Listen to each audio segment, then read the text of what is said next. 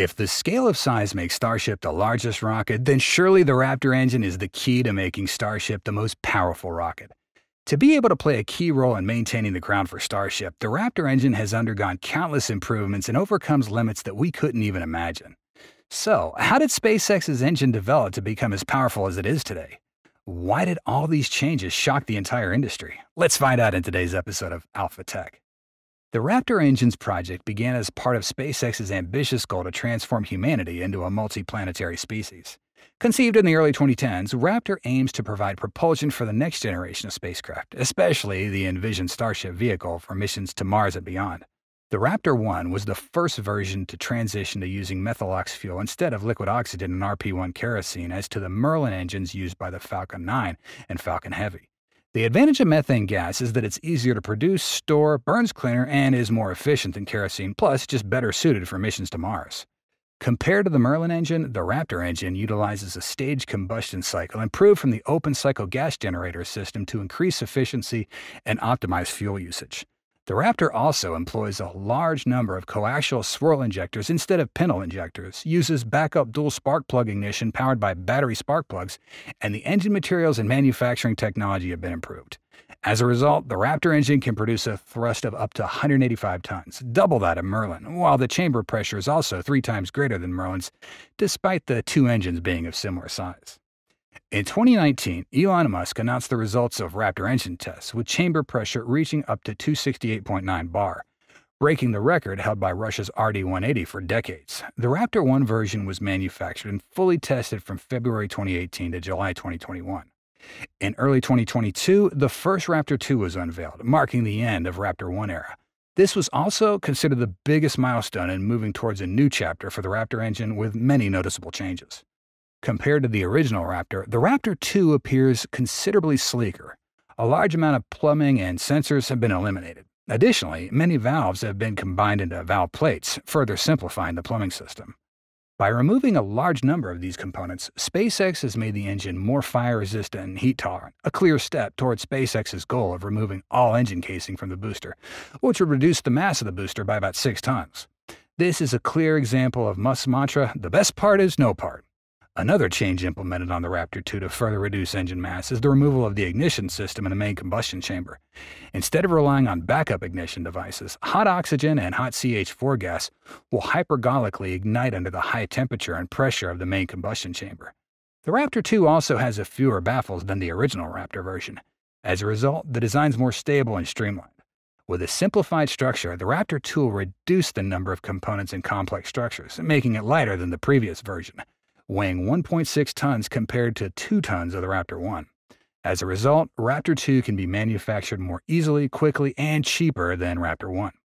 Despite removing many components with a new design, the Raptor 2 is 25% more powerful than Raptor 1, achieving a thrust of up to 230 tons. With chamber pressure up to 300 bar, with 33 booster engines, the Starship achieves a thrust of 7,590 tons, or 16.8 million pounds. Currently, the Raptor 2 is considered one of the best engines by a standard that other engines aspire to.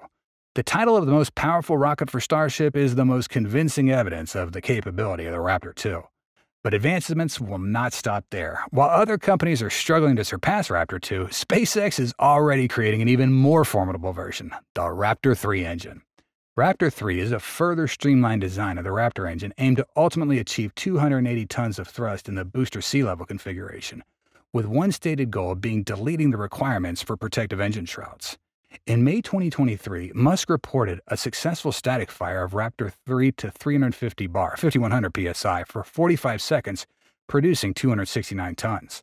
Raptor 3 is a much simplified design that internalizes much of the plumbing and sensors to increase reliability and improve reentry performance.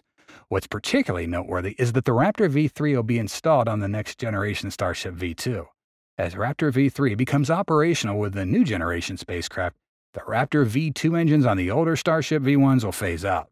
This transition is expected to happen soon as SpaceX only has four pairs of prototype first generation rockets, and they'll swiftly begin manufacturing the next gen prototypes, with Elon forecasting that six pairs of rockets will be produced by the end of the year.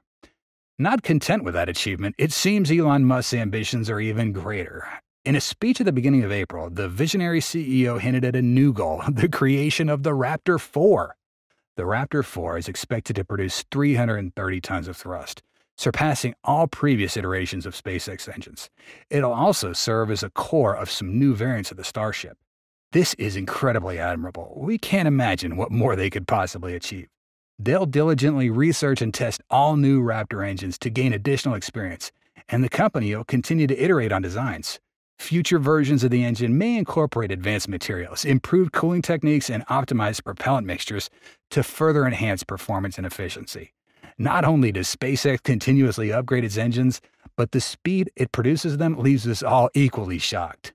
In the first phase, from February 2018 to 2021, about 36 months, SpaceX produced 100 Raptor 1 engines, meaning they made one engine every 11 days. However, when transitioning to the Raptor 2 version, the production rate increased a lot. In 2021, Elon Musk revealed that they could manufacture an engine every 48 hours. Perhaps that disclosure was not an exaggeration. Raptor 2 production began in late 2021 and within only about 11 to 12 months. In November of last year, SpaceX posted a photo of the 200th Raptor engine they had completed. Also, towards the end of last year, NASA confirmed SpaceX only took 24 hours to make one engine. Since then, after a year, their engine count seems to have doubled.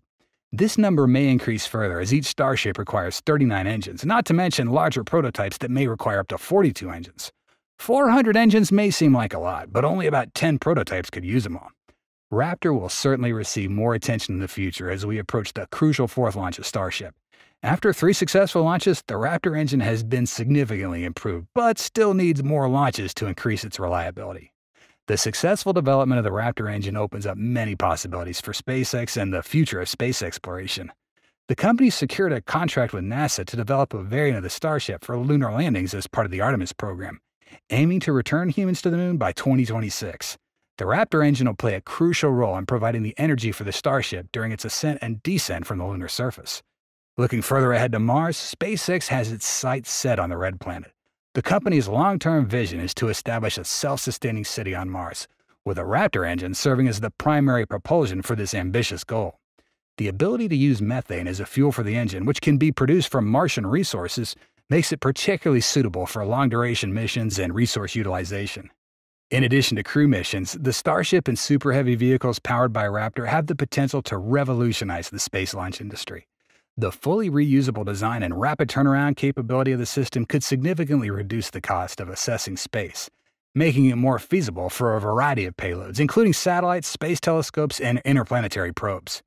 SpaceX is also exploring the possibility of using the Starship for point to point Earth transportation. By leveraging the vehicle's ability to perform suborbital flights, the company has envisioned a future where passengers could travel between distant cities in just a few minutes. While this application is still in the conceptual stage, the performance and reliability of the Raptor engine will be the key to turning this vision into reality. It can be said that the Raptor is like a miniature version of SpaceX. Simpler to be stronger sounds easy, but in reality, extremely challenging, as it's a unique formula that's driven the success of the world's largest aerospace company, SpaceX. Based on that formula, the Raptor engine's pushing the boundaries of the aerospace industry to incredible limits. We've all witnessed the Raptor's performance in previous flights, but perhaps those displays were not enough to satisfy our expectations. We hope that on the next flight, both the Starship and the Raptor engines will have a complete and successful performance, igniting our emotions after days of anticipation. That's all for today's episode. Thanks for watching and see you next time.